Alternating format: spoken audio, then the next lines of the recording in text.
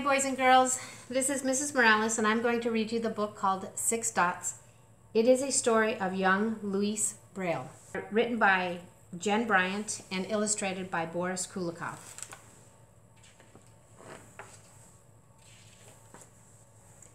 On the day I was born, Papa announced me to the village. Here is my son, Louis. The neighbors came, clucking their tongues, whispering, Too small, he won't survive. Oh, but I did survive. I was a curious child and my eyes studied everything. Mamma's gentle face, lace draping my cradle, the smooth shape of a loaf of bread on the table. I grew up strong and healthy. When I rode to the baker's on my brother's broad shoulders or fed the chickens with my sisters, the villagers waved and smiled. So handsome, they cried. And clever, too, my sisters said. At three, I knew everyone in Coupvray by name. I counted the eggs in my sister's basket and the sparrows in the trees. I repeated stories I heard word for word.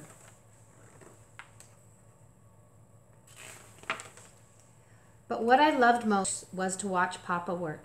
People came from far away to have a harness made or a broken bridle mended. In Papa's hands, the rough leather strips became smooth and useful. I wanted to be just like him, but when I reached for a tool, Papa would warn, Don't touch that. And then more gently, You're too small, Louise. Wait till you're older. Too small. Those words. I wanted to be bigger, stronger, older. Perhaps if I showed Papa what I could do. The leather was smooth, the awl was sharp. I knew just how to. Papa! Papa! My life changed that day. A healer bandaged my eye, and again I heard, don't touch. But the bandage itched so much. My hands, like the sparrows in the trees, were small and quick. I couldn't keep them away. I didn't mean to make things worse, but I did. The infection spread to my eye until I could see nothing at all. No trees or sparrows, no faces, no lace or loaves of bread. By the time I turned five, I was completely blind. The village whispered, Poor Louise Braille. Such a clever boy. What will happen to him now? My world was dark and dangerous. I stumbled about the house, banging into the chairs, the walls, the doors. My body ached. Where is the sun? I cried. But the sun did not come. I sat by the window, training my ears to do what my eyes could not. Clang, bang, kish, kish. That was Papa in the shop. Swish, swish, swish, swish. Long skirted ladies hurrying to the market. Clomp, clomp, clomp. Those are the soldiers marching down the street. Grr, grr, grr. The neighbor's angry dog, chained too tight, alone in the dark. I knew just how he felt. My family did what they could. Papa made a wooden cane. Each day I walked a little farther, tap, tap, tap, tap, tap, tap, counting the steps between the house and the garden, the vineyard and the chicken coop, the baker's and the miller's, and back to Papa's shop. My brother taught me to whistle, and when the sound echoed back, it warned me of things in my, my path. My sisters made a straw alphabet. Papa made letters with um, leather strips or by pounding round topped nails into the boards. With Mama, I played dominoes, counting the dots with my fingers. The village priest taught me to recognize trees by their touch flowers by their scent, and birds by their song. I listened closely as he read to me. Do you have books for blind children? I asked. No, the priest replied. I'm sorry. When I was older, I went to school with the other village children all day as they wrote down words and numbers or read out loud from printed pages. I sat in the front row, listening and memorizing. Do you have books for blind children? I asked again. No, Louise, the teacher replied. I'm sorry. But I didn't want people to feel sorry for me. I wanted to read and write on my own, like everybody else. The Marquise, a noble lady living nearby, heard about me. She wrote a letter to the Royal School for the Blind, asking if I could study there.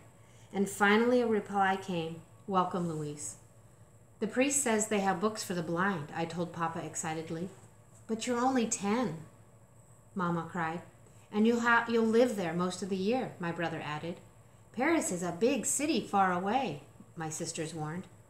How could I make them understand? Without books, I would always be poor Louise Braille. I would always be held back, like that dog chained too tight. I love you, I told them, but I must go. I didn't need my eyes to know that the Royal School in Paris was not a palace. My hard bed was in a damp, crowded room. My uniform itched. My meals were small and cold. The teachers were strict, and the older boys teased and stole. How I missed my home. And yet I stayed. I stayed because somewhere in this old, moldy building there were books for the blind. Only the best students are allowed to read them. My friend Gabriel told me. Then I will be one of the best, I replied. Learning at the blind school was almost like learning in Coupvray. We sat and listened, we memorized and recited, we also had music lessons and made slippers in the workshop. As my fingers flew across the organ keys or between the strips of cloth, I dreamed of reading and writing. I worked and studied as hard as I could. Finally, it was that day. A guide led me to the library. Sit here, he commanded. There was shuffling, grunting, and scraping, a thud. There it is, he said. Just trace the raised letter with your fingers. It was a long reach to the top of the page. My fingers traced the outline of each letter, just as, as I'd done in Coupvray, with straw and leather. But these waxy letters were huge. After reading the first sentence this way, my hand was halfway down the page. A few sentences more, and I had to turn the page. A few sentences, two more pages, and then the end. Is that all? I asked. There are more, the guide replied, but they're just like this one. Words as large as my hand, sentences that took up half a page. I sighed. Even if I read a hundred books like this, how much could I learn?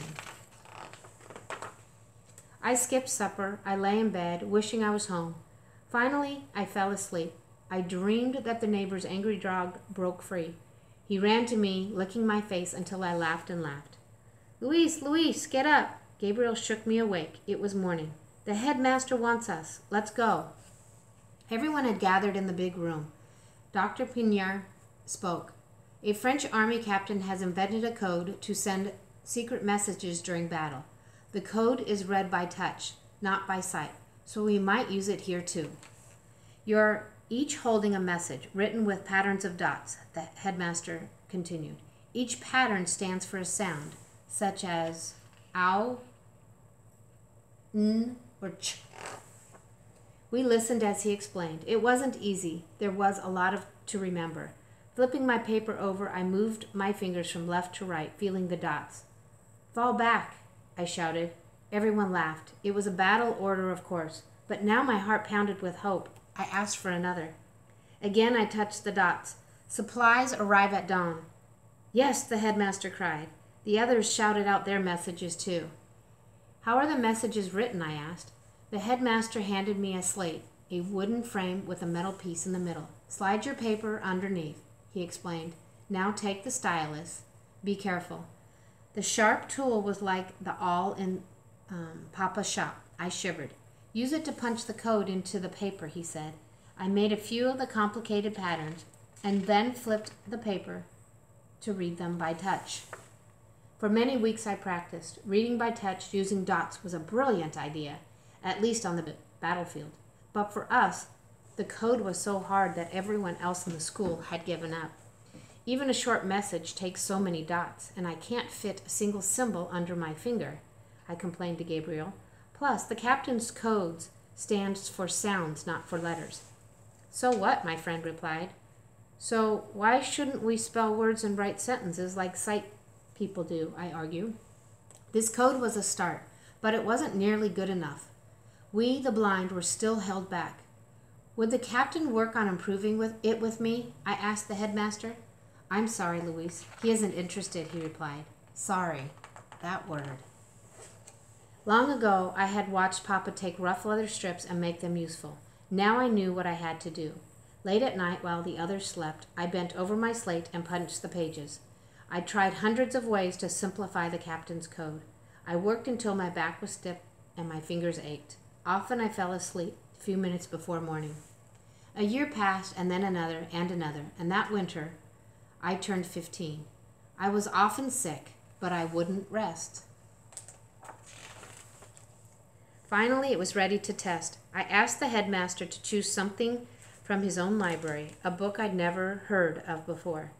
Please, read it out loud, he said. Dr. Pignier began. After a few minutes, I interrupted.